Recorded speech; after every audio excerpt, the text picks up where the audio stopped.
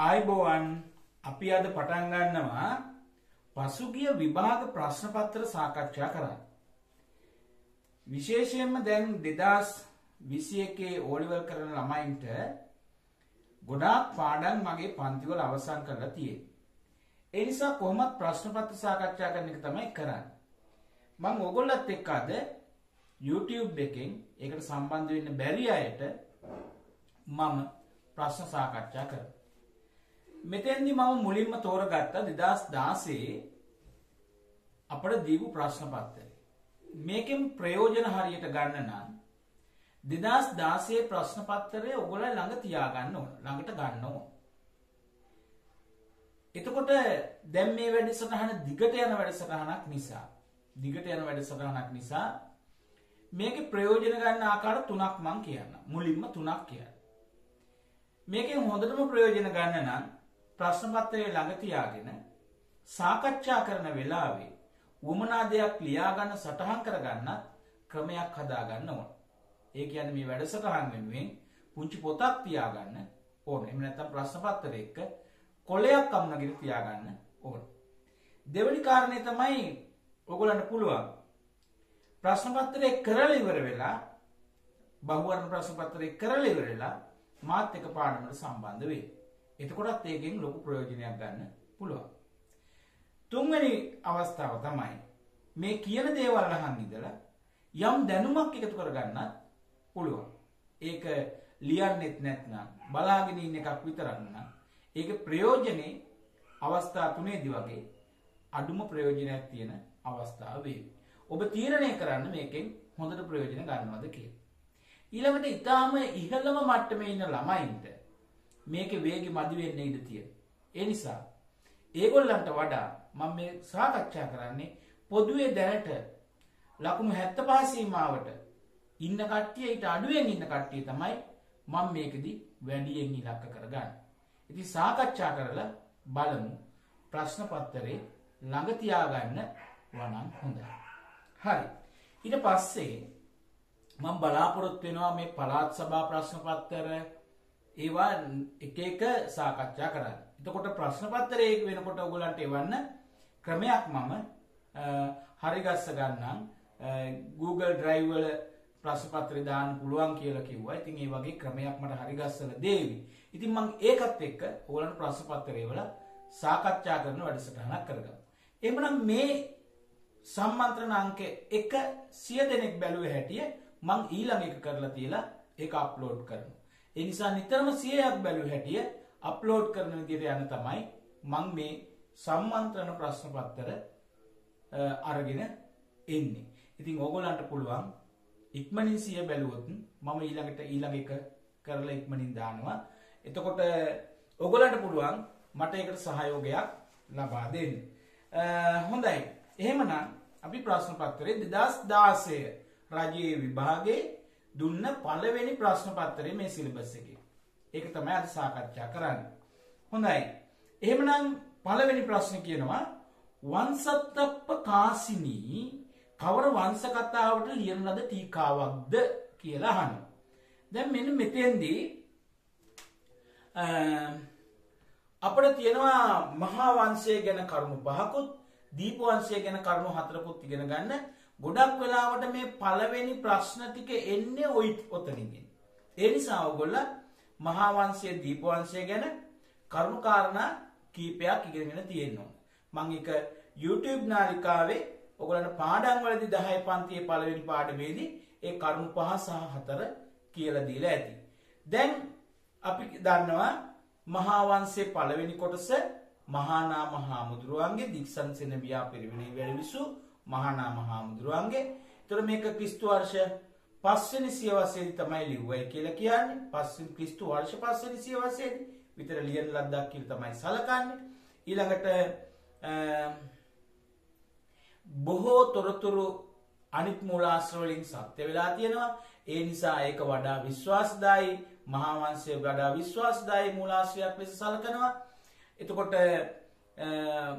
මහා වංශය දික්සන්සෙන ව්‍යාපිරවෙන ඔය මේ කියන කාරණ. එතකොට මේකෙදී මහාවන්සේට ලියන ලද ටීකාව වන් සත්තප්ප කාසිනී කියලා කියන පළමු කොටසට ලියන ලද ටීකාව වන් සත්තප්ප කාසිනී කියලා කියනවා.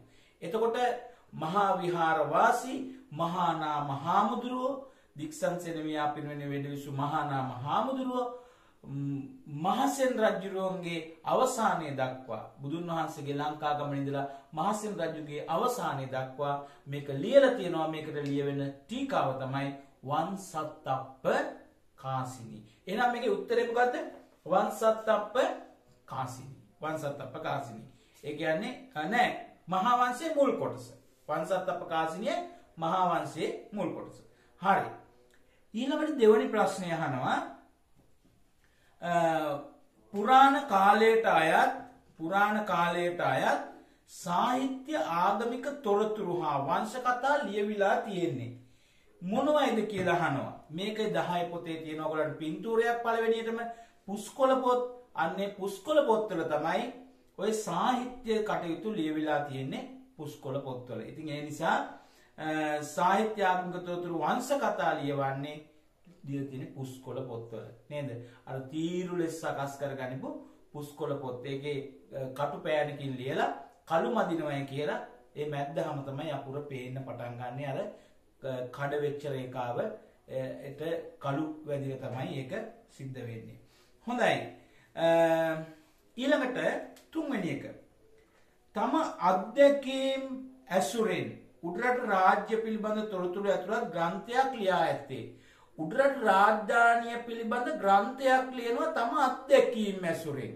ඒ කියන්නේ මේ රට ආපු අයගෙන් මේ රට ආපු අයගෙන් ආපු අය පස් දෙනෙක් ඉන්නවා නේද? අරාබිය, චීනය, පෘතුගාලය, ඕලන්දය, එංගලන්තය. නේද? මතකයි නේද? මුලින්ම අරාබිය, ඉබන් බතුතා, ඊළඟට චීනය, පාහියන් හිමි, ඉලාට පෘතුගාලය පෘතුගීසින්ගේ ආවේ රිබෙයිරෝ රිබෙයිරෝ දැ මේක නම් තියෙනවයි නම් එක මම මේ කියන්න ලන්දේසින්ගේ පිලිප්පස් බැල්ඩියස් ඉංග්‍රීසින්ගේ නෞකාව ඇවිල මෙහිට ඇවිල්ල අතරමං වෙච්ච රොබට් නොක්ස් තමයි ඉංග්‍රීසින්ගේ එයා මේ රට ඇවිල සිරකරුවෙක් විදිට ඉඳගෙන මේ රටේ ලියන ග්‍රන්ථය තමයි එදා හෙලදිව කියලා අපි හඳුන්වන්නේ. ඉතින් ඒ එදා හෙලදිව කියන කෘතිය ලිව්වේ කවුද? මේ බ්‍රිතාන්‍ය ජාතික රොබට් නොක්ස් ඒක නිසාගේ උත්තරයෙන්නේ රොබට් නොක්ස්. හරි. හතරවෙනි ප්‍රශ්නයට අප යම් ඉක්මං කරගත්තරමට වැඩිය හොඳයි. ප්‍රශ්න විසි හයක් වෙනකම්ම දහය ශ්‍රේණියෙන් දිල තියෙන නිසා දහයි ශ්‍රේණියයටත් මේක එකසේ ප්‍රයෝජනවත්. හොඳයි. අපි බලමුදැන් පොහොය දිනවල වෙළදාම් කළ අයට දඩගහන නීතියක් ගෙනෑවේ මොන සෙල්ලිපියද මේක සඳහන් වෙන්න කියලාහනවා. එතකොට මේක දිරතින මිහින්තලා පෝරලිපිය අර හරක් මැරුවතින් බිහිදු රජ්ජුරුව මිහින්තලා පෝරලිපිය එක නීති පනවල තියෙනවා. වේවැල් කැටිය සෙල්ලිපියත් එහෙම තියෙනවා. පරිසරි සම්බන්ධ සෙල්ලිපියක් ගල්පොත් සෙල්ලිපියත් එහෙම සෙල්ලිපියක් තියෙන මේ සොරබොරුවව ටැම්ලිපිය තමයි මේ හතරවෙනි උදේ රජ්ජුරුවෝ කරවපු සොරබොරවයට ඇම්ලිපේ තමයි මේ විස්තරය තියෙන්නේ. මේ වෙළදාම සම්බන්ධ විස්තරය තුළ හතරවෙනි උදේ රජ්ජුරුවෝ උදේ පාන්දර නීති පහක් පැනෙවය කියල මම ඔගලට ගන්න තියෙනවා. එතකොට මේ නීති පනවපු එකෙන් එක නීතියක් තමයි පොහෝය දිනවල වෙළදාම් කිරීම තහනම් කියන නීතිය. එනම් ඒකට අනුව ඔගලන්ට ගන්න පුළුවන් සොරබොරවයෝ ටැම් ලිපිය. තුර සොරවරය ටැම් ලිපිට තව නමක් කියනනේ නේද. ඒකට බදලු ටැම් ලිපිය කියලත් කියනවා. එනිසා එහෙම කිවුණත් එක තමයි උත්තරය වෙන්නේ සොරබොරුවව ටැම් ලිපිය. හරි පස්වෙනි කාරණය. පුරවැසීකුල ඇත ඉතිහාස් දැනුම වඩාත් පලදායි ලෙස. එකන ඉතිහාසය තින හොද්දම ප්‍රයෝජනය මේ කියන්නේ. හොද්දම ප්‍රයෝජනය තමයි අතීතය තුළින් වර්තමානය තේරුම් අරගෙන අනාගතය ගොඩ්නගා ගැනීම. අතීතය තුළින් වර්තමානය ගොඩනගාගෙන වර්තමානය තේරුම් ගැන අනාගතය ගොඩනගා ගැනීම. මෙන්න මේක තියෙන්නේ හතරවෙනි උත්තරේ අතීතය තුළින් වර්තමානය අවබෝධ කරගෙන අනාගතය ගොඩනගා ගැනීම. ඕකත ඔය උත්තරේ ගන්න තමයි ප්‍රශ්නය හදන්නේ. ඒ නිසා ඒක තමයි උත්තරය වෙන්නේ අතීතය තුළින් වර්තමානය ගොඩනගාගෙන අනාග වර්තමානය හැඩගස්වගෙන අනාගතය ගොඩනගා ගන්න. ඒක තමයි ඉතිහාසයෙන් බලාපොරොත්තු වෙන ප්‍රධානම කාර්ය. නිසා වෙනත් ඒවා හරි වුණාට ඒකටයි ලකුණ හම්බ වෙන්නේ මේ අවස්ථාවේදී. ඊළඟට 6 වෙනි ප්‍රශ්නෙට අපි යමු. 6 වෙනි ප්‍රශ්නෙට. ශ්‍රී ලංකාවේ ජාතික උරුමයන් වූ පුරාවස්තු රැක ගැනීම කළ යුතු වෙන්නේ ඇයිදැයි. ඇයි මේ පුරාවස්තු රැක ගන්න ඕන? දැන් අපෙන් අහනවා මේ පුරාවස්තු රැක ගන්න ඕන ඇයි කියලා. ඒකෙත් එක එක හේතු තියෙනවා සංචාර කර්මාන්තය කරන්න මේක වැදගත් වෙනවා. පුරාවස්තු අපේ ඓතිහාසික ප්‍රෞඩත්වයේ පෙන්වන නිර්මාණයක් ඒ නිසා අනාගත පරම්පරාවට දායද කරන්න ඕන.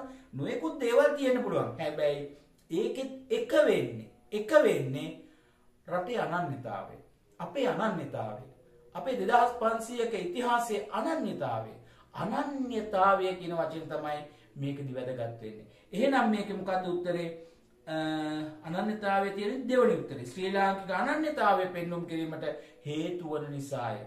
අනිත් උත්තරත් හරි හැබැයි වඩාත්ම නිවැරදි එක හොඳම උත්තරේ තමයි ගන්න ඕනේ. ඒ උත්තරේ විතරයි ලකුණු හම්බ වෙන්නේ. ඒ නිසා අනන්‍යතාවයි මේ ප්‍රශ්නේ පිළිතුරු විදියට ගන්න. අපි ඊළඟට යන් හත්වෙනි ප්‍රශ්නෙට. හත්වෙනි ප්‍රශ්නෙට. හත්වෙනි ප්‍රශ්නෙදි කියනවා දැන් ඔය මේ කතා කරපු ප්‍රශ්න ටිකම ආයෙ තව ප්‍රශ්න පත්‍රයක තියෙනවා. ඔයගොල්ලන්ට ඒක මනා ලෙස දැක් ගන්න පුළුවන් මේ ඉස්සරහට ඉස්සරහට ප්‍රශ්න පත්‍ර කතා කරගෙන යනකොට. ඒ නිසා මුල් එකේදී කිසියම් දෙයක් වැරදුනා නම් ඒක රතු පෑනෙන් ඩොට් එකක් තියාගන්න. රතු පෑනෙන් ඩොට් එකක් තියාගෙන එහෙම නැත්නම් මොන හරි පාටකින් ඩොට් එකක් තියාගෙන Tamanට හොඳට ඒක ආයි වරදින්නේ නැහැ කියලා හිතෙනවා නම් ඩොට් එකට හරියක් දාගන්න. එතකොට ඔයගොල්ලගේ දැනුම හරියට කරගෙන ඔගොල්ලෝ මේකේ ලකුණු 40න් 30ක් ගන්න අඩු මේකක් ගන්න. ඉතින් අපට ඕකට යන්න පුළුවන් ප්‍රශ්න පත්‍රවල කිරි ප්‍රශ්න ටික කතා කරයින් පස්සේ. හොඳයි අපි යමු හත් වෙනි ප්‍රශ්නෙට. ප්‍රාග් ඓතිහාසික යුගයට ගල් මෙවලන් ලැබී ඇති පතිරාජවල ප්‍රදේශයේ ඉරණමඩු සැකැස්මට අයත් බොරු තට්ටුව. ඔය ඉරණමඩු සැකැස්මට අයත් බොරු තට්ටුව අපේ ප්‍රාග් ඓතිහාසික මානවයාගේ මුල් අවස්ථාව පෙන්눔 කරනවා. අපි ඒ තරම් ඈතක ඉඳලා තමයි මේ ලංකාවේ ජනවාසීම ආරම්භ වෙලා තියෙන්නේ. මිනිසා ජීවත් වෙලා තියෙන ගල් යුගයක, දඩයම් යුගයක. ඒක පටන්ගෙන තියෙන්නේ මීට අවුරුදු 125000කට කලින්. 125000කට කලින්. එනිසා අයිරණ මඩු සැකැස්මෙන් අපට හම්බ වෙන්නේ අවුරුදු 125000කට වඩා පැරණි සාධක තමයි හම්බ වෙන්නේ. පැරණි ගල් මෙවලම් හම්බ වෙනවා. ඒ නිසා ඒක තමයි අපේ උත්තරේ 125000කට පෙර. හරි ප්‍රාග්නේ ප්‍රාග් කියන්නේ මුල්ම එක් කට්ටියගේ ඓතිහාසික. තාම අපි ඉන්නේ දෙවනි පළවෙනි පාඩමේ දෙවනි පාඩමේ මේක 2016 නිසා. පොත ආවෙත් පරක්කු වෙලා. ඉතින් ඒ නිසා පළවෙනි පාඩමෙන් දෙවනි පාඩමෙන් තවමත් ප්‍රශ්න හදලා තියෙන්නේ. හොඳයි. ශ්‍රී ලංකාවේ ප්‍රාග් ඓතිහාසික යුගයේ විසූ මානවයාගේ ජීවන රටාව පිළිබඳ ප්‍රාග් ඓතිහාසික යුගයේ විසූ මානවයාගේ ජීවන රටාව මුල්ම කට්ටිය හිටපු තැන් වලින් වඩාත් වැඩියම සාධක හම්බෙලා තියෙන්නේ කොහෙද? කළුතර පාහි අංග්‍රලෙනින් කළුතර ප්‍රදේශයේ පිහිටලා තියෙන පාහි අංග්‍රලෙනින් තමයි වඩා වැඩියෙන් සාධක හම්බෙලා තියෙන්නේ ගල් යුගයේ ප්‍රාග් ඓතිහාසික යුගයේ දඩයම් යුගයේ මිනිසාගේ තොරතුරු සම්බන්ධයෙන් හම්බෙලා තියෙන්නේ එහෙන් කිතුල්ගල බෙල්ලෙන් හම්බෙලා තියෙනවා ඊටත් වඩා වැඩියෙන් පාහි අංගලෙන් තමයි මුලින්ම අපට හම්බ වෙන්නේ වඩා පැරණි ලෙනත් පාහි අංගල ලෙන විදිහට තමයි සලකන්නේ පුරා විද්‍යාඥයෝ. ඒ නිසා දැන් ඔන්න ඔයගොල්ලන්ට ප්‍රශ්න කතා කරා අටවෙනි ප්‍රශ්නය දක්වා සාකච්ඡා කරා. මම මේක සාකච්ඡා කරගෙන යනකොට පුංචිම කරුණ ඉඳන් කියන්නේ හැබැයි දිගින් දිගටම අපි සම්බන්ධ වෙනකොට ආයි නැවත නැවත නම් කියනවා එකම ප්‍රශ්නේ. ඒ ප්‍රශ්න ආවයින් පස්සේ නැවත නැවත කියනවා. එතකොට ඔයගොල්ලන්ට තියෙන වෙලාවක් බලලා මේක බලලා Tamanට ප්‍රයෝජන ගන්න කාලේ නම් නාස්ති කරන්න එපා. තව කෙටි කාලයයි තියෙන්නේ. හොඳයි. 9. ශ්‍රී ලංකාවේ යකඩ භාවිතය. යකඩ භාවිතය කියන්නේ ගල් යුගයේ අවසන් කළා තමයි යකඩ යුගයට එන්නේ. අපි කියනවා පැරණි පොත්වල අපි සඳහන් වෙනවා ගල් යුගය නැත්නම් දඩයන් යුගය. ඕක තමයි අපි ප්‍රාග් ඓතිහාසික යුගය කියන්නේ. ඊළඟට දෙවන යුගයට කියනවා යකඩ යුගය කියලා. ඒ කියන්නේ දඩයමින් මිදිලා ගොවිතැන ආරම්භ වෙලා අවියායුධ හදාගන්න යකඩ නිෂ්පාදනය කරගන්නවා. එනම් මේ යකඩ නිෂ්පාදනය කරන කාර්ය සිදු වෙන්නේ දෙවන යුගයේදී. ඒ කියන්නේ ප්‍රාග් ඓතිහාසික යුගය නෙවෙයි ඊට පස්සේ දෙවනි ඓතිහාසික යුගය පූර්ව ඓතිහාසික යුගයේදී. මතක ඇති. පූර්ව ඓතිහාසික යුගය ආරම්භ වෙන්නේ ක්‍රිස්තු පූර්ව 2400 දී. දෙදස් හාරසීයේදී පමණ යපර නිස්සාරණය කරපු තැනක් හම්බෙනවා බෙරගලින් යබොර හම්බ වෙලා ඉතින් ඒ නිසා යකඩවලට මාරු වෙලා තියෙනවා නේද යකඩවලට මාරු වෙලා තියෙනවා මේ නවයි ප්‍රශ්න දක්වා ඇතකොට තිබිලා තියෙන 2016 දී නම් එක සහ දෙක පාඩම් වලින් ඉස්සරහට පොඩ්ඩක් වෙනස් වෙනවා දැන් පොඩ්ඩක් වෙනස් වෙනවා ඒකදී අපි එතෙන්ට එමු හොඳයි. දඩයමින් ජීවත් වූ ප්‍රාග් ඓතිහාසික මානවයා ගොවිතැන කෙරෙහි යොමුවීමට බලපෑ ප්‍රධාන පරිසර සාධකයන් ප්‍රධාන පරිසර සාධකය. හෙලෝසින යුගය ආරම්භ වෙනවනේ. ඒ කියන්නේ චීත කාලය අවසන් වෙලා ආරම්භ වෙනවා නව උණුසුම් කාලය. උණුසුම් කාලය ආවහම මොකද වෙන්නේ? මේ උණුසුම් කාලෙදී ආහාර නිෂ්පාදනය කරනවා ගහකොළ. ඇයි? ගහකොලට පුළුවන් වෙනවා සීත කාලය අවසන් කළ උණුසුම් කාලයේදී ආහාර නිෂ්පාදනය වැඩි කරගන්න. ඉතින් අපට දඩෙම්ම කියලා ඕනද මිනිස්සුන්ට මස් කාල කාල ඇති වෙලා ඉන්න ඇති නේද? මෙතකොට මිනිස්සුන්ට මේ ශාකමය ආහාර තියෙනම් පහසුවෙන් ආහාර ටික ගන්න තියෙනවා නම් මිනිස්සුන්ට පුළුවන් එහෙම බොහොම නිදහසේ ඉන්න මහා වරුසාවේ සතෙක් පස්සේ දුවන්න ඕනේ නේද? සත්තු නැති වෙනකොට බඩගින්නේ ඉන්න ඕනේ අන්නේ යුගය වෙනස් වුණා. මොකක් නිසාද? දේශගුණ සාධකයක් වෙනස් වුණා. මේක ලංකාව විතරක් නෙවෙයි. ලෝකෙ හැම තැනම වෙච්ච වෙනසක්. ඒ නිසා අලුතෙන් ඇදිවෙච්ච හෙලෝසීන යුගයේ එහෙම නැත්නම් අලුතෙන් ඇතිවෙච්ච යුගයේදී මිනිසා ගොවිතැන්ට යොමු වෙනවා ඒ ආහාර පාන වැඩි වෙනවා ඉතින් ඒ නිසා උත්තරේ වෙන්නේ මේකේ ශීත දේශගුණය අවසන් වී දේශගුණ උණුසුම් දේශගුණයක් ආරම්භ වීම. එතකොට මේක තමයි ප්‍රාග්ධයිතයගමාන ගොවිතැන කෙරෙහි යොමු වෙන්න ප්‍රධාන සාධකය වෙලා තියෙන්නේ. ඉතින් ඕවා සාමාන්‍ය කරුණු.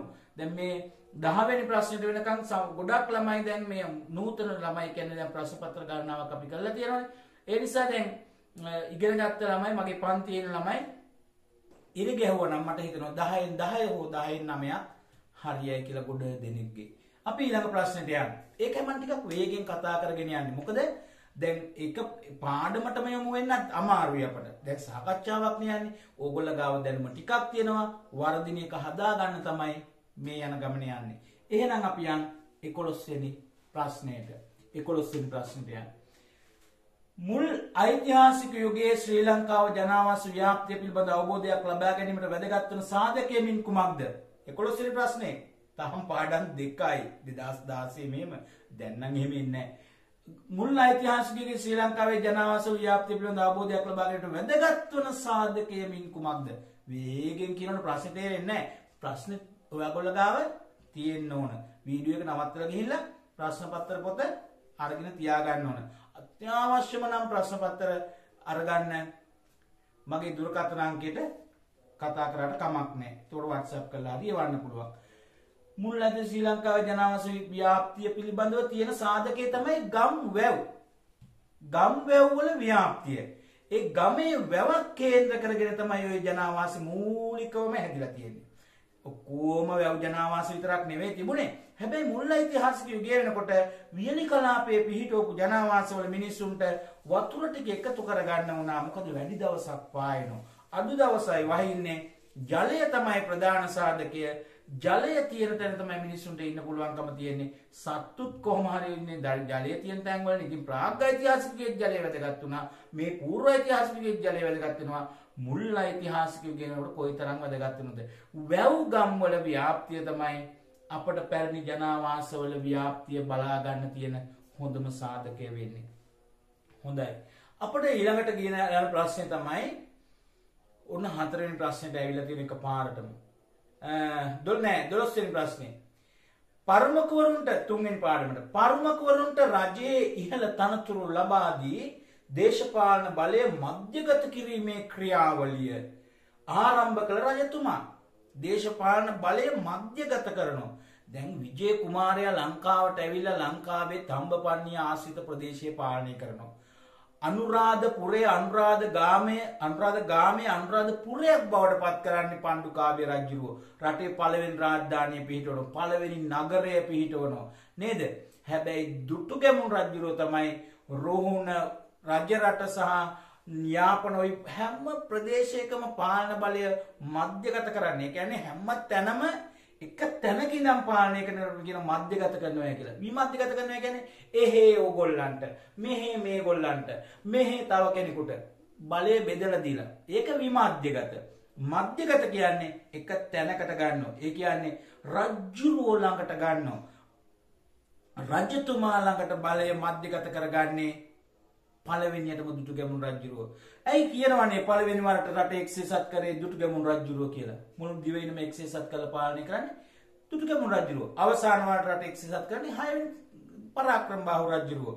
ওই කතාන්දර දෙකේ තියෙනවා පළවෙනි දුටු ගැමුණු රජ්ජුරුව පළමු වරට රට එක්සේ සත් කරනවයි කියලා බෙදිලා තියුණු කොටස් ඔක්කොම එකතු වෙනවා රුහුණේ ඉඳලානේ යන්නේ ඒ නිසා රුහුණත් එකතු වෙනවා. ඒතකොට දුටුගැමුණු රජුරෝ තමයි පරුමකවරුන්ට තමයි මේ බලය දෙන්නේ. කවුද? දස මහයෝධයෝ. ඒගොල්ලෝ හිටියනේ පරුමකලා නේද? අන්නේ පරුමකවරුන්ට බලය දීලා රට මධ්‍යගත පාලනයකට ගේන ක්‍රියාවලිය කරන්නේ දුටුගැමුණු රජුරෝ. ඒ නිසා පණ්ඩුකාභය රජුරන්ට සමහර විර ගහලා ඒකෙදි වරද්ද ගන්නවා. හැබැයි මේකේ දුටුගැමුණු රජුරෝයි පළවෙනි වරට රට එක්සේසත් කරලා පාලනය කරන්න. 13ට යන් අපි. අතීත ශ්‍රී ලංකාවේ දියුණු වෛද්‍ය තාක්ෂණයක් තිබුණු බව අහනවා කොහොමද අපි මොකෙන්ද කියන්නේ?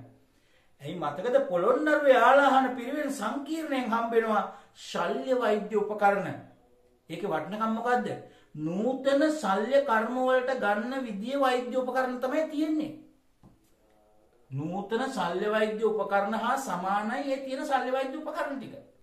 ඒ කියන්නේ ඒ ශල්‍ය කර්ම සැත්කම් කරන්න නේද? ශල්‍ය කර්මයක් සැත්කමක් අපි හොඳටම තේරෙන කිව්වොත් ඔපරේෂන් එකක් නේද? ශරීරය කරන ඔපරේෂන් එකක්.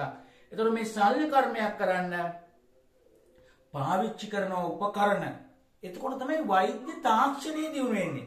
වෛද්‍ය විද්‍යාවේ දියුණුව. දැන් වෛද්‍ය විද්‍යාවේ බෙහෙත් හරි ගස්සලා දෙන එකට වඩා වෛද්‍ය තාක්ෂණය ශල්‍ය කර්ම වලට. ශල්‍ය කර්මයක් කරනකොට ඔයගොල්ලෝ දන්නවා නිර්වින්දනය කරන්න ඕන. නිර්වින්දනය කරන්න වෛද්‍යවරයෙක් ඉනවා වෙනම. ඒ වෛද්‍යවරයා නිවාඩු නම් ශල්‍ය කර්ම කරන වෛද්‍යවරයාට ශල්‍ය කර්මයක් පස්සට දාන්න සිද්ධ වෙනවා. ඇයි? එයා තමයි ලෙඩාට නැවත සිහිගැන්වීම බලා මේ පිළිබඳ වග කියන වෛද්‍යවරයා. ශල්‍ය කර්මය කරන වෛද්‍යවරයා නෙවෙයි. පුංචි ශල්‍ය කර්මයක් නම් වෙන ක්‍රම තියෙනවා. දැන් නම් නූතනේ තවත් ක්‍රම තියෙනවා. හැබැයි මෙන්න මේ කාර්ය පිළිබඳව බලන්න පොළොන්නරුවේ ආලාහන පිරිවෙන සංකීර්ණ තියුණා. ශල්‍ය වෛද්‍ය උපකරණ. ඒක තමයි අපේ වෛද්‍ය විද්‍යාවේ තාක්ෂණයේ දියුණුව කියන හොඳම උදාහරණය බවට පත් වෙන්නේ ඒක. එතකොට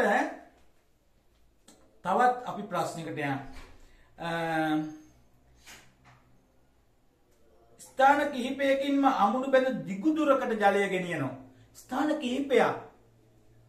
ඔන්න අපේ තියෙනවා අමුණක් තියෙනවා මේ මේ ඇලහැර අමුණ තියෙනවා ඊළඟට මිනිපේ අමුණ තියෙනවා හත්තොට අමුණ තියෙනවා අංග මැඩිල්ල අමුණ තියෙනවා. මේ අමුණු ඔක්කොම තියෙන්නේ මහවැලි ගඟ හරහා අරස් කරලා ඒ නිසා වඩා වැඩියෙන් අමුණු බැඳලා තියෙන්නේ මහවැලි ගඟ හරස් කරලා මහවැලි ගඟ හරස් කරාම ජලයේ තියෙන ඕන තරම් පොඩ්ඩක් ජල මට්ටම උසට ගන්න පුළුවන්. ඒ උසට අරගෙන ජලය අරගෙන යන්න පුළුවන්. ඒ නිසා මහවැලි ගඟේ තමයි වැඩිම අමුණු ප්‍රමාණයක් බැඳලා තියෙන්නේ. දැදුරුවේ තමුණු බැඳා මල්ලතුවේ තමුණු බැඳා මහවැලි ගඟේ තමුණු බැඳා ඉතින් මේ අමුණු බැඳපු ගම් තමයි ගංගා තමයි තියෙන්නේ. හැබැයි මේ ඔක්කොගෙම මහවැලි ගඟේ තමයි ප්‍රධාන අමුණු ටික. අපි අමුණු කියලා ගත්තාම විශේෂයෙන් මතක් වෙන්නේ අපට මිනිපේ යමුණ අංග මැඩිල් අමුණ හත්තොට අමුණ ඔය විදියට අමුණුනේ අපට මතක් වෙන්නේ. ඔය ඔක්කොම අමුණු ටික තියෙන එකේ නේද? ඔය තේක්කම් අමුණ ඒ වගේ ඒවා තමයි මල්වතුේ ආශ්‍රිතව තියෙන්නේ. ඉතින් ඒ නිසා මහවැලි ගඟ තමයි මේකට අපිට ගන්න තියෙන උදාහරණේ තියෙන්නේ. අපිට එහෙමනම් ඊළඟ උත්තරේට යන්න. 15 වෙනි එක.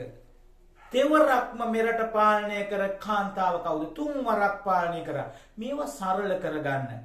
ඒ වගේ මේ වගේ දේවල් හොඳට මතක තියාගන්න ආයි පාඩම් කරන්න ඕනේ නැහැ. තුන් පාරක්ම මේ රට පාලනය කරනවා.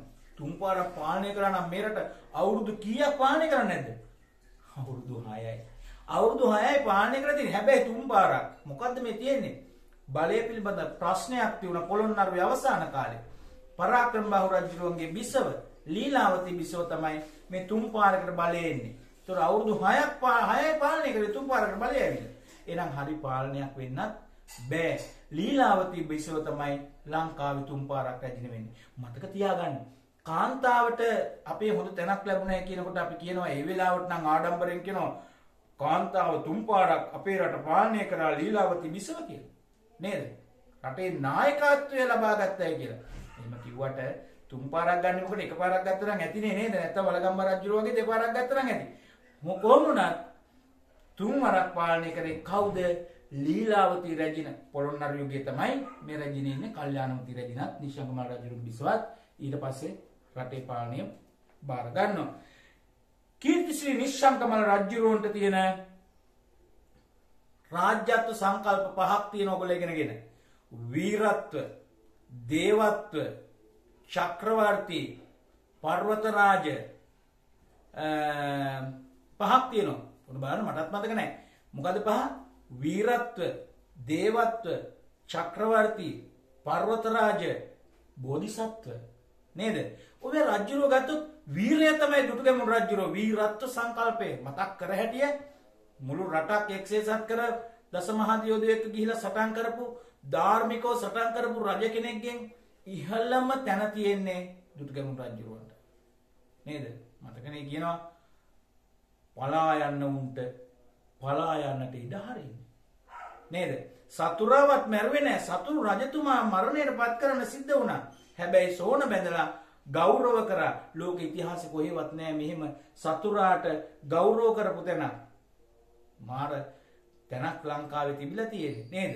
අද වගේ කුලල් කාගත්තට ලංකාවේ ඉතිහාසය ඉගෙන ගත්තොත් නම් රටේ පාලකයොන්ට ඉතිහාස ඉගෙන ගත්තොත් කොයි තරම් වටනවද? අනේ දරුවනේ නිසා ඉතිහාස ඉගෙන ගත්ත දරුවෝ මේ තැන්වලට ගියොත් තමයි අනාගතේ හොඳ වෙන්නේ. හොඳයි එහෙමනම් අපිට නිශ්ශංගමල් රජුරෝ සංකල්ප වලින් මොකටද වැටෙන්නේ? කාලිංග චක්‍රවර්තිය කියලා එයාගේ සෙල්ලිපිල සඳහන් කරගෙන තියෙනවා. එහෙනම් චක්‍රවර්ති සක්විති චක්‍රවර්ති. චක්‍රවර්ති සංකල්පය තමයි නිශ්ශංගමල් රජුරෝට තියෙන්නේ. දුර්ගමුණු රජුරෝ වීරත්ව දේවත්ව දෙන්නෙක් ඉන්නව නේද? කූට කන්නාබේ රජුරෝ නරීසර කියන නරයිසර නරයින්ට ඊශ්වර දෙවියෝ. ඊළඟට මහසෙන් රජුරෝ මින්නේරි දෙවියෝ. දේවත්ව සංකල්පය නේද? පර්වත රාජ නම් ඉතින් පර්වතයේ මුදුනේ හිටිය. සීගිරි පර්වත මුදුනේ හිටිය පළවෙනි කාශ්‍යප රජුරෝ බෝධිසත්ව පොතේ දීලා නැහැ ඒ සිරිසංග බෝ රජුරෝ බෝධිසත්වයි. රාජ්‍යත් සංකල්ප වෙනම කතා කරන්න පහක් මතක තියාගන්න. හරි පහට පස් දිනක් මතක තියාගන්න. සටහන් එහෙම දීලා ඇති. ඒව බලන්න. ඒ කියන්නේ YouTube එකේ තියෙනවා. ඊළඟට ළමයි අතීතයේදී ගව්ව යන මිනුම් භාවිත කරන ලද්දේ නේද? ඔතන ළමයි ඕගොල්ලන්ට පාඩම් කරගන්න ඕන මිනුම් ක්‍රම. මේක හැම ප්‍රශ්න පත්තරයකම තියෙයි ඒ නිසා මම මේකට කවි කීපයක් කියලා දීලා තියෙනවා. ඒව දැන් ඔයගොල්ලන් ලියන්න දෙන්න බෑ මේක අහගෙන ඉඳලා ඕන්නම් පුළුවන් ඕගොල්ලන්ට ඒක ලියාගෙන පාඩම් කරගන්න. මොකද YouTube දැම්මහම නැවත නැවත බැලීමේ අවස්ථාව තියෙනවා. එතකොට දැන් නිකමට මතක් කරන්න මෙන්න මෙහෙම තියෙනවා. වීහගුංජමාසක අක දරණ ස්වර්ණ බරමනිනවා. ලාහපෑල කුරුණු අමුණු කරිසවලින් බිම්මනිනවා.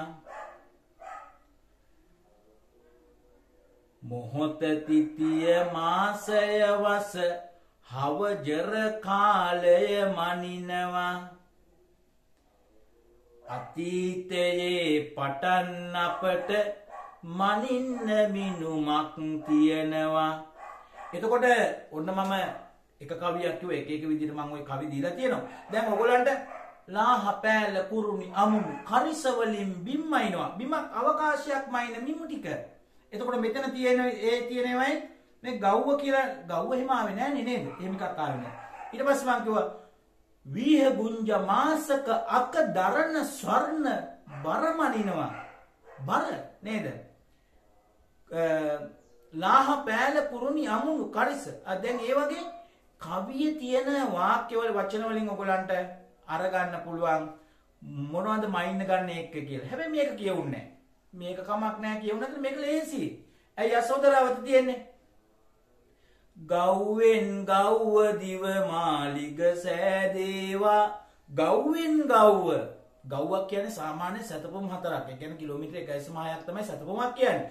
ඒ වගේ හතරක් ගිය තැන දිව මාලිග දිව්‍ය මාලිගා පහළ වෙන කෙනවා.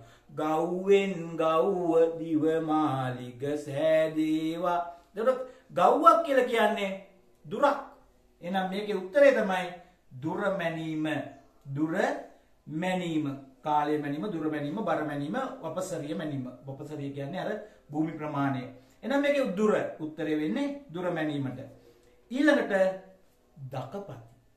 දකපති යනුවෙන් සෙල්ලිපි මූලාසුවල සඳහන් වන්නේ. දකපති කියලා සෙල්ලිපිවල සඳහන් වෙන්නේ මොකක්ද කියලා අහනවා. උත්තර හතරක් දීලා තියෙනවා ජල බද්ධ ධාන්‍ය බද්ධ මත්ස්‍ය බද්ධ තොටුපොළ බද්ධක් කියලා. එහෙනම් බදු වර්ගනේ අහන්නේ නේද? ඔතන තියෙනවා ඉගෙන ගත යුතුම බදු වර්ග තුනක්. දකපති බොජකපති මතර මජි බක බක. ඕන්න ඔහොමයි මං කියලා දීලා තියෙන්නේ. දකපති බොජකපති මතර මජි බක බක. බක බක කියලා දෙපාරක් නම් එන්නේ මතර මජි බක. ඒක එක බද්දා දකපති බොජකපති මතර මජි බක. දකපති බොජකපති මතර මජි බක බක. ඔහොම ළමයින්ට පාඩම් කරන්න මං කියලා දීලා තියෙනවා. ඒතර දක කියන්නේ ඔය උදක කියන එකනේ දක කියලා අරගෙන තියෙන්නේ. උදක කියන්නේ ළමයි සිංහල භාෂාවෙන් ජලයට කියන තවත් නමක් නේ. උදක කියන්නේ. ඒතර උදකයෙන් උයන්න නෑ දකපති. දකපති කියලා කියන්නේ ජලබන්ධ. ජලබන්ධ. බොජකපති බොජක කියන්නේ භෝජනය. භෝජනය කරනවා කියන්නේ කන එක. කන එක නෙමෙයි උතන අදහස් කරලා තියෙන්නේ. භෝජනය කරනවා කියන්නේ ඉඩම් ප්‍රයෝජනයට ගන්නවනේ. ඉඩම ප්‍රයෝජනයට ගන්නවනේ ආන භෝජනය. ඒකට අපි කියනවා බොජ්ජකපති කිය. ඒ ඉඩම් ප්‍රයෝජනය. මතර මජි බක බක කියල කිවට බක විතරයි එන්නේ මතර මජි බක විතරයි. තර මතර මජි බක කියල කියන්නේ මත්සෙයින් අල්ලන අයගෙන් ඇලමාර්ගොල මත්සෙන් අල්ලන අයගෙන් ගත්ත බද්ධ. එතකොට ඒක බක බක කියල කියන්නේ ඉතින් කෙම්බොයින්න ඔය අල මාර්ගොල තමයි ගෙම්බොයින්න ඒක මතක් වෙන තමයි එහෙම බක බක කියල දෙපාරක්කිවේ. ඒක තමයි ඒ බදුවර්ග ටික තියෙන බදුවර්ග තියෙන එක්දා සරසය අනුහතේ එක්දස් හත්සය අනුහතේ බද්දා බදුවර්ග තියෙනවා. එක්දා සටසය හතරි සටේ ගන බදුවර්ග තියෙනවා නේද? ඊළඟට කොළහ පන්තිලම එන්නම් ඔන්න අයම ප්‍රංශ බදුවර්ග එනවා ගොල්ලන්ට බදුවර්ග ගණනාවක් කොලට ඉගෙන ගන්න වෙනවා. ලංකායි කොච්චර බදුවර්ග තිනවද අනාගත ළමයිට තවත් බදුවර්ග ඉගෙන ගන්නේ මේ ලංකාවේ ඉගෙන ගන්නකොට හරි. දැන් අපි යන් ඊළඟ ප්‍රශ්නෙට. පහත ප්‍රකාශ සලකන්න නගර නිර්මාණ ජාමිතක සැලසු මාකෘතියෙන් මිදී නිදහස් ස්වරූපයකට පරිවර්තනය වීම. නගර සැලසුම් ජාමිතික නිර්මාණය එකන සැලසුමක්නේ ජාමිතික නිර්මාණයක් කියන්නේ සැලසුම් සහගත බවක් නැතුව නිකම්ම හැදෙන්න්න පටන්ගත්ත කොයි නගර දෙකද කියලා හනුමේක. අනුරාධපුරය පණ්ඩුකාබේ රජ්ජුරුවෝ ලංකායි පළවෙනි අගනුවර පළවෙනි නගරය හදර තියෙන ඉතා සැලසුම් සහගතව. නූතනයෙක් ළමයි නගරවල සැලසුමක් නෑ. නගරවල සැලසුමක් නෑ. ඒ නිසාම ගැටලු ගොඩායි අපේ රටේ නගරවල. සැලසුම් සහගත බව නැතිසා. නගරය හැදුනා මිසක් නගරය හැදුවේ නෑ. ඒ නිසා කවරුවත් තීරණය කරේ නෑ මෙතන තමයි මාළුමාකට්ක තියෙනවන මෙතන තමයි බස්ටෑන්ඩ එක තියෙනවන මෙතන තමයි කඩසාපු තියෙන්න්න ඕන මෙතන තමයි නේවාසික ස්ථාන තියන්න සමහර වෙලාවට සමහර නගරවල. නගර මැත්ත තියෙනවා ගහ කෙහෙල් ගස්සු ඉන්දපු තැන්. කෙහෙල් ගස් ඉඳල මේ වටිනා භූමිය ප්‍රයෝජෙන්ට අරගෙන තියෙන්නේ මදුරුව බෝවෙන තැන් විදියට. ඇයි එතන බැරැක්කයක් හරිගස්සල හෙම නැත්තම් කාටහරි නේවාසික ස්ථානයක් හරිගස්සල ඒවයි මිනිස්සු ඇත්තෙත් නෑ භූමිය වටිනා භූමිය. නේද? මෙන්න පාසල ගෙන හැලදාලා නගරේ මැද්දටම ඉඩ ලොකු කරන්න විදිියකුත් නෑ. පාසල ඉතින් මේ අතර තමයි යන්න වෙලා තියෙන්නේ. මට සමාර නගර මතක් වෙනවා සමාර පාසලුත් එක්ක. ඉතින් නගර ළමයින්ට ඇවිදින තැනක් නෑ. ළමයිට එක දැනකට ගන්න පිට්ටනියක් හදාගන්න විදියක් නෑ. නේද? නගර මැදගෙන හැලමේ වාංජ වටනකමත් තියෙන තැන. දොතරින් ගෙනියන්නත් බෑ. ගෙනියන්න ගියොතින් ඒ පර දේශපාලන පස් ප්‍රශ්න. හැබැයි අනුරාධපුරේ පොළොන්නරුවනං හැදුනේ ළමයි අපේ රටේ සැලසුම් සහගතව. ඊට පස්සේ මොයි බොහොම කෙටි කාලයක්නේ අනිත් රාජධානි ටික තියෙන අවුරුදු 200 ගාණක්නේ. එතකොට අනිත් රාජධානි පහම හැදුනේ සැලසුමක් නැතුව. එහෙනම් ළමයි මේකට අයිති වෙන්නේ දඹදේනියයි යාපහුවයි. අනිත් නගර දෙක අනුරාධපුර පොළොන්නරුව හොඳ සැලසුම් සහගතව තමයි හැදිලා තියෙන්නේ. හරි. අපි යනවා විසිවැනි ප්‍රශ්නයට මේ කොටසේ අවසාන ප්‍රශ්නය. ඓතිහාසික සිදුවීම් කිහිපයක් පහතින් දක්වා ඇත ඒවා අනු පිළිවෙලින් පෙළගස්සන්න ඕන. දැන් ළමයි මේක කොහොමද අනු පිළිවෙලට පෙළගස්සන්නේ. අනු පිළිවෙලට පෙළගස්සන්නේ. මේක දැන් අපට ගන්න වෙනවා අපෝ දයා කුස්සියේ ගම්මිරිස් කෝ කියන පිළිවෙලට ගන්න වෙනවා නේද ABCD ටික ගන්න වෙනවා දැන් මේක දීලා තියෙනවා A B C D ආ හතරයි දීලා තියෙන්නේ ලේසි දැන් ළමයි අපි දන්නවා රාජධානියාවේ කොහොමද කියලා දන්නවා. අනුරාධපුරේ පොළොන්නරුව දඹදෙණිය ආපහු කුරුණෑගල ගම්පල කෝට්ටේ. හරි අපි දැන් බලමු. දන්නේ එකක් දෙකක් තියෙනවද කියලා බලමු. ඒතර උත්තරේට යන්න පුළුවන්ද කියලා බලන්න පුළුවන්. 550 ජාතක කතාපොත සිංහලට පරිවර්තනය කිරීම. මතක මතක ඇති සමහර අයට අප මාත් එක්ක ඉන්න අයට අනිත් අයට අලුත් ඇති. අලුතින් බලනගෙන ජාතක පොත බෝධි වංශ සහ සිරි දලදාය දන්නවාද මේවායිති කුරුණෑගල යුගය. මම මේවා සැරින් සැරේ දිගට කියාගෙන යනවා. එතකොට මේවා අල්ලගන්න. නවත්තලා ලියාගන්න. ලියාගෙන පාඩම් කරලා තියාගන්න. ඊළඟ එකේදී ලේසි වෙනවා. ජාතක පොත බෝධි වංශ සහ සිරි දලදාය දන්නවාද මේවා අයිති කුරුණෑගල යුගය. ජාතක පොත සිංහල බෝධි වංශය. දළදා සිරිත සිරි දල්දාක්වේ දල්දා සිරිත මේවා දන්නවාද මේවාති කුරුණෑගල යුගය එහෙනම් පන්සිය පනස් ජාතක පොත සිංහලට පරිවර්තනය කරේ කුරුණෑගල යුගයේදී එහෙනම් ඒ අකුර තියෙන්නේ කුරුණෑගල යුගයේ. මෙන්න මෙතෙන්ට ඒ අකුර එනවා. ඒ අකුර තියෙන්නේ කුරුණෑගල යුගයේ. B අකුර. උඩරට සාමන්ත පාලක ජෝතිය සිටුවරයා කැරල්ලක් ඇති කරනවා. උඩරට සාමන්ත පාලක කියන්නේ ඔය 6 වෙනි පරාක්‍රම බාහු රජුගේ යටතේ ඉන්න පාලකයා. ඒකයි සාමන්ත පාලක කියන්නේ. එයා කැරල්ලක් ඇති කරනවා ජෝතිය සිටුවරයා. එතකොට ජෝතිය සිටුවරයා උගලට මතකයි මෙහෙම. හයවැනි පනාක්‍රම බාහු රජ්ජුරුවන්ගේ කාලෙදී මේ රජ්ජුරුවන්ට හිටිය පුතාල දෙන්නෙක් එක්කෙනෙක් ගල කුමාරයා අනිත් එක්කෙනා මං කියලා තියෙනවා ඔයගලන්ට මල කුමාරයා මේ මල කුමාරයයි ගල කුමාරයයි හිටියේ. මේ මහනුවර රාජධානිය කියන මේ මහනුවර රාජධානියේ ජෝතිය කියලා සිටුවරයා ස්වාධීන වෙන්න කැරැල්ලක් ඇති කරනවා එතකොට මේකට යවනවා මේ ගල කුමාරයා සෙන්කඩ ගලට යවනවා මොන ගලද? අම්බුලුගල කුමාරයා. අම්බුලුගල මාරය යවන්නේ. ඔන්න ඔය අම්බුලුගල කුමාරයා යවලා මහනුවර රාජධානියේ ජෝතිය සිටුවරයාගේ කැරැල්ල මැඩ පවත්වනු කරන්නේ කවුද මේ හයවෙනි පරාක්‍රම බාහු රජ්ජුරුවෝ? හය පර. හයවැනි පරාක්‍රම බාහු රජ්ජුරුවෝ. එහෙනම් හයවැනි පරාක්‍රම බාහු රජ්ජුරුවෝ හිටියේ කෝට්ටේ. එහෙනම් බී අකුරේ ඉන්න ඕන කොහෙටද? කෝට්ටෙට. බී අකුරේ ඉන්න ඕන කෝට්ටෙට. ඔන්න පෙළගස්වගෙන යනවද? උච්චරය කියමු අපි දන්නේ. අනිත් දෙකම දන්නේ අනිත් දෙකම දන්නේ කියලා නිකන් හිතමු. ඔල දන්නවා. දන්නේ කියලා හිතමු.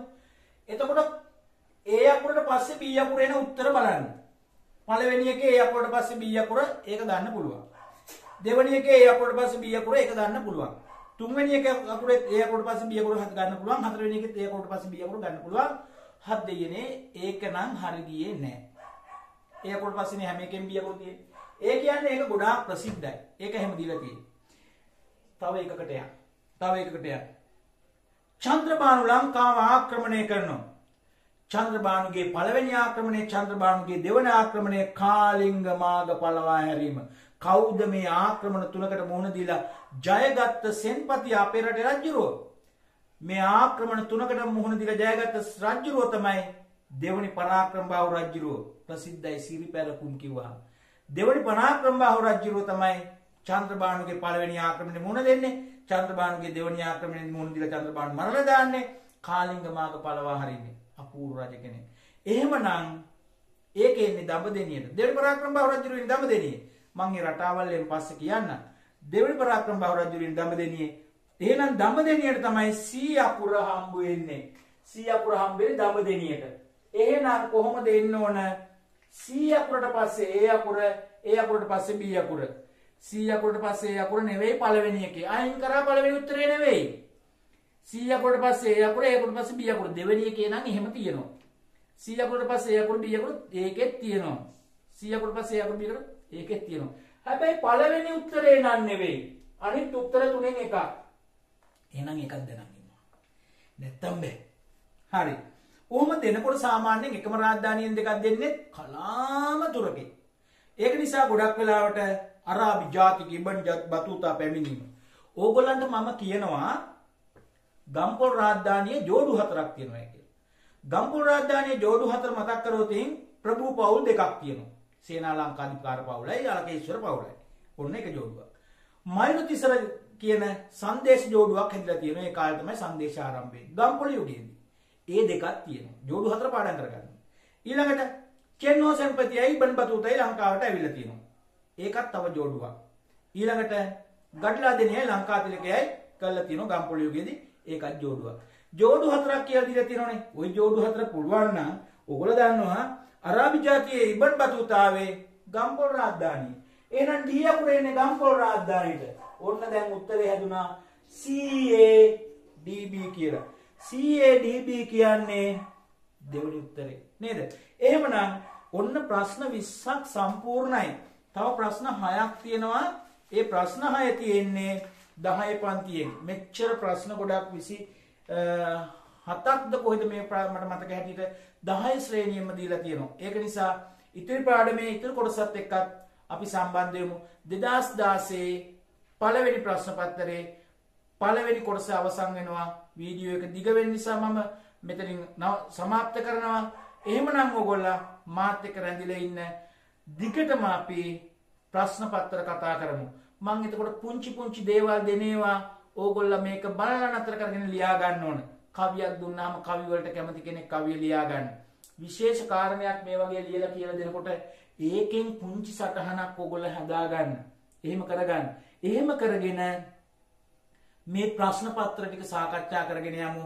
ඕගොල්ලෝ බලන අතරේ යාළුවන්ටත් කියන්න මෙහෙම දෙයක් ඔයගොල්ලෝ කැමති නම් විතරක්. කැම ඔයගොල්ලෝ මේකට කැමති වුණොත් ඔයගොල්ලෝ යාළුවෝ දැනුවත් කරන්න. ඈත ඉන්න නෑදෑයින්ට කියන්න. මං ආසයි 100ක් බලපු හැටිය ඊළඟ එක අප්ලෝඩ් කරනවා. 100ක් බලපු හැටිය දෙවනි කොටස ඊළඟට අප්ලෝඩ් කරනවා. ඊළඟට ඒක 100ක් බැලුවා හැටිය ඊළඟ එකට යනවා. මොකද ළමයි බලන ප්‍රමාණයට තමයි මම මහන්සි වෙන්න ඕන. ඒ නිසා එහෙම කරන්නේ. ඊට පස්සේ ඉතින් අනිත් අය බැලුවත් එකයි නොබැලුවත් එකයි. සිය දෙනෙක් එතකොට මගෙන් ප්‍රයෝජන ගන්නකොට මට ආසයි මං එතකොට කොච්චර හරි ඕගොල්ල වෙනුවෙන් ඒ කාර්ය කරගෙන යනවා දිගටම. ඊළඟට කැමති නම් ඉතින් ඕගොල්ලෝ මේකට දෙයක් ගත්තනම් අර මෙහෙම තියෙන ලයික් එක පොඩ්ඩක් ටච් කරගෙන යන්න. ඊළඟට ඕගොල්ලන්ට මොනවා හරි දෙයක් කියන්න තියෙනම් නරක මම කැමති මොනවා හරි අඩුවක් කියනවා. සර් දිග වැඩි සර් මේ සමහර ප්‍රශ්න කතා කරන වැඩි අපට දැන් ඕන කරන්නේ මේවා සර් ලියා ගන්න වෙලාව දෙන්න මොනවා හරි ගැටලුවක් කියනම් ඒවත් කමෙන්ට් එකට දාන්න ඊළඟට අනිත් අයට බලන්න ඕගොල්ලගේ දෙමෝපියොන්ගේ තියෙන Facebook වලට මේවා ෂෙයා කරලා මට උදව් කරන්න ඊළඟට මගේ සබස්ක්‍රයිබර්ස්ලා 4000ක් වෙලා තියෙනවා අපි 5000ක් කරගන්න ලබන මේ විභාගයට ඉවර වෙනකොට පන්දාහක් කරගන්න තමයි මගේ ඊළඟ බලාපොරොත්තුව. මට ඕන කරන්නේ වැඩි දෙනෙකුට මේ මේක අරන් දෙන්න නැතුව YouTube එකෙන් සල්ලි හම් කරන්නේ නෙවෙයි. දැන්ට මාසෙකට මට ඩොලර් එකක් විතර වැටෙනවා account එකට පේනවා. ඒකට මට ආසාව නැහැ. මට ආසාව තියෙන්නේ බලන ප්‍රමාණය කොච්චරද ඒ ප්‍රමාණයට මේක දෙන්න තමයි ආසාව තියෙන්නේ. එහෙමනම් ඔයගොල්ලෝ මට උදව්වක් විදියට ලයික් එකක් කමෙන්ට් එකක් ෂෙයා කිරීමක් සහ ඔය හතරක් තියෙනවනේ ආන්නේ සබස්ක්‍රයිබ් කරලා තියාගන්න එක. ඒව කරලා සහයෝගය දක්වන්න. එහෙමනම් අපි ඊළඟ කොටසෙන් හම්බ වෙමු 2016 කෙටි ප්‍රශ්න පත්‍රයේ දෙවන කොටස. එතෙක් ආයිබෝවන්